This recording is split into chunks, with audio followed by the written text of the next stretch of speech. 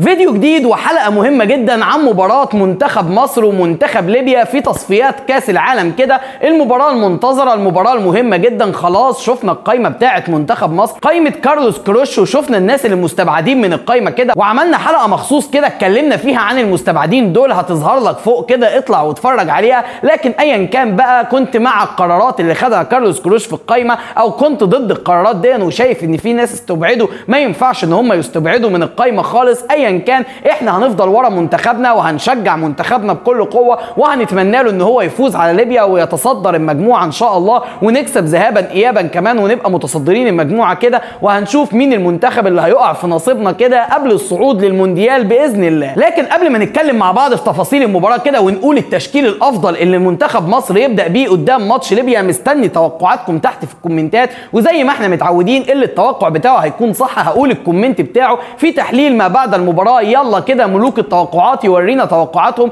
بنتيجة الماتش ممكن يخلص كام كام؟ هل هيكون النتيجة في مصلحة المنتخب المصري ولا لا قدر الله؟ المباراة ممكن تخلص بالتعادل أو بالهزيمة. مستني كومنتاتكم كلها وما تنساش كمان تخبط like الفيديو share على قد ما تقدر. لو لسه ما اشتركتش في القناة اعمل subscribe وشغل الجرس عشان تجيلك كل الحلقات اللي هعملها بعد كده. يلا بينا. انقاذ يا مونكو شاط الجول الجول انقاذ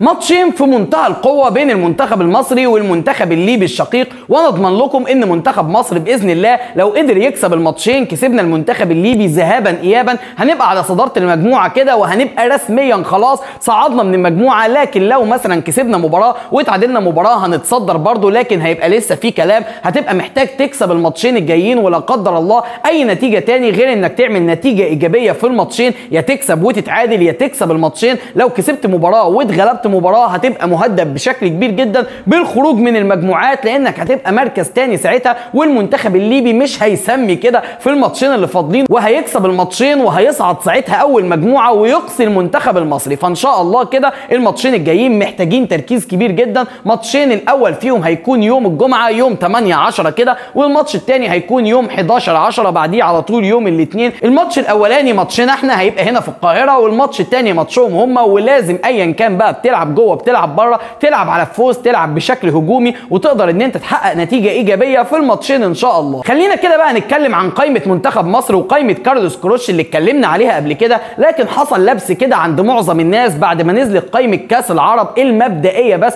ولقوا فيها موجود محمد شريف ومحمد مجدي قفشة وقال لك خلاص كارلوس كروش رجعهم تاني لقائمة ماتشين ليبيا مفيش الكلام ده. خليك بس عارف تفرق بين القائمتين كده في قائمه لماتشين مصر وليبيا وفي قائمه تاني لكأس العرب. دي حاجة تانية خالص وهي قائمه تانية بتضم كل اللعيبة كده اللي هياخدهم واللي مش هياخدهم بيجربهم كده ولسه هينقي منهم اللعيبة اللي هو عايزها وهيطلع لعيبة كتير بره زي ما كان محمد مجدي قفشة ومحمد شريف ومصطفى فتحي ومهند لاشين وكل اللعيبة دي موجودة في قائمه ماتشين ليبيا وبعد كده خرجوا. فدي قائمه مبدئية لكأس العرب الناس ما يدخلش عندها الموضوعين في بعض كده لكن قائمه مباراة مصر وليبيا زي ما هي كده أربع حراس مرمى محمد الشناوي محمد أبو جبل محمد بسام ومحمد صبحي الأربعة موجودين معانا. اتنين back left أبو الفتوح من الزمالك وأيمن أشرف من الأهلي واتنين back right أحمد فتحي من بيراميدز وأكرم توفيق برضه من الأهلي وأربع مساكين موجودين عندنا كده. موجود الونش موجود باهر محمدي موجود أحمد حجازي وموجود ياسر إبراهيم الأربعة موجودين. وعندك رباعي موجود في نص الملعب موجود محمد النني موجود طارق حامد موجود عمرو السولية وحمدي فتحي لاعبين النادي الأهلي. وفي صناعة الألعاب كده موجود عندنا عبد الله السعيد بس ومعاه كمان عمر مرموش بيلعب في المكان ده برضه وفي ال wing اليمين موجود عندك محمد صلاح وموجود عندك أحمد سيد زيزو وفي ال wing الشمال موجود رمضان صبحي وموجود إبراهيم عادل وعندك راسين حربة مصطفى محمد وأحمد حسن كوكا وأيا كانت الاختيارات أيا كانت بقى عجباك أو مش عجباك الاختيارات دي هنقف وراها وهندعمها بشكل قوي جدا وهندعم المنتخب وهندعم كارلوس كروش ايا كان الاختيارات اللي خدها. وأنا عن نفسي شايف إن الاختيارات دي غلط جدا وإن كارلوس كروش استبعد لعيبة مهمة جدا زي محمد مجدي قفشة محمد شريف في غلطة كبيرة جدا عملها وايا كانت النتيجة بقى بتاعة ماتشين ليبيا. لو كسبت الماتشين ذهابا ايابا كده وكسبت كمان ب score كسبت هنا أربعة ورحت كسبت هناك ثلاثة ده مش هيمنع إن أنت عملت غلطة كبيرة جدا في استبعاد اللعيبة دي لأن أنت ممكن تستبعد أهم لعيبة موجودين عنك وبرده التوفيق يكون في صالحك وبرده تقدر تكسب مفيش أي مشكلة.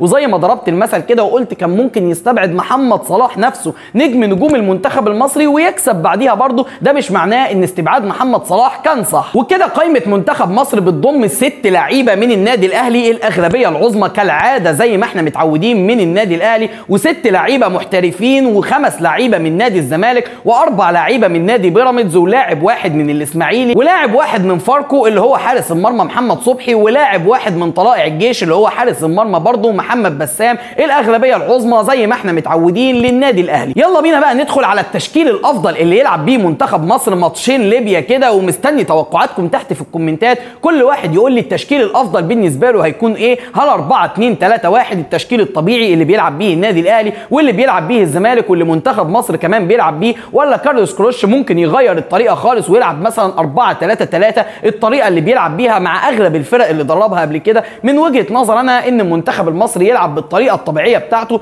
4 2 3 1 في حراسة المرمى محمد الشناوي اخطبوط النادي الأهلي ورباعي خط الظهر. باك يمين أكرم توفيق. من النادي الأهلي برضه. و back شمال أحمد أبو الفتوح نجم نادي الزمالك واثنين سرد باكات أحمد حجازي وجنبيه الونش لاعب نادي الزمالك. ده كده أفضل رباعي خط ظهر من وجهة نظري وأعتقد إن هو بنسبة 100% الرباعي ده هو اللي هيشارك في المباراة. اتنين كده ديفندرات في نص الملعب طبعا محمد النني نجم أرسنال وجنبيه هيكون موجود عمرو السولية. ده من وجهة نظري. الله أعلم هو ممكن يلعب بمين ممكن يلعب بطريقة دفاعية أكتر. فتلاقي موجود عندك هنا النني وجنبيه طارق حامد. لكن من وجهة نظري النني هو اللي يلعب رقم 6 مش رقم 8 هو ال defender الدفاعي. آه بيزيد في وضع الهجوم لكن ال defender الدفاعي أكتر. وجنبيه عمرو السولية مايسترو كده اللعيب اللي بيمسك الكرة وبيتحكم في رتم اللقاء. قدامهم صانع ألعاب عبد الله السعيد اللي ما بقاش عندنا غيره دلوقتي مع خروج محمد مجدي قفشة. لكن خلاص بقى مش هنتكلم عن الموضوع ده كتير. إحنا لينا دلوقتي القايمة الموجودة. فعبد الله السعيد هو اللي هيكون صانع ألعاب لاعب بيراميدز وعلى شماله رمضان صبحي يبدأ في بداية اللقاء. هو أفضل واحد موجود في الحتة دي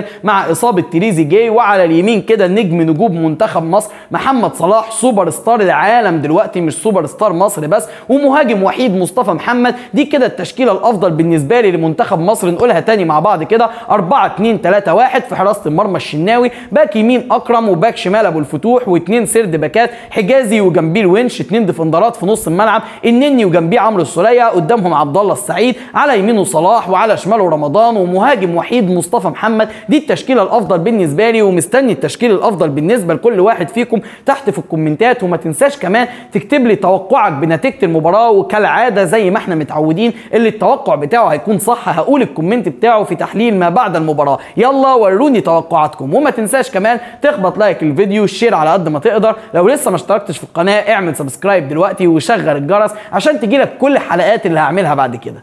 سلام.